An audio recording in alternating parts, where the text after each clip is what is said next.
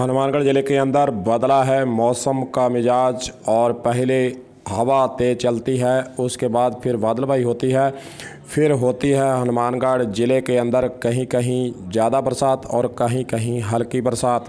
वहीं दूसरी ओर संग्रिया क्षेत्र से खबरें प्राप्त हो रही हैं कि वहाँ पर ओले भी पड़े हैं। ओलों की बरसात संग्रिया क्षेत्र के अंदर ज़रूर हुई है और भी ज़िले के अंदर ऐसे स्थान हो सकते हैं जहाँ पर ओलावृष्टि हो। मौसम विभाग के द्वारा हालाँकि पहले ही आज एक, दो मार्च को इसी तरह का मौसम बदलना और ओले बरसात होने की सूचना थी, लेकिन कहीं ना कहीं संग्रह क्षेत्र के अंदर ओलों की बरसात से फ़सलों को नुकसान हो सकता है। चलिए देखिए वहाँ की तस्वीरें।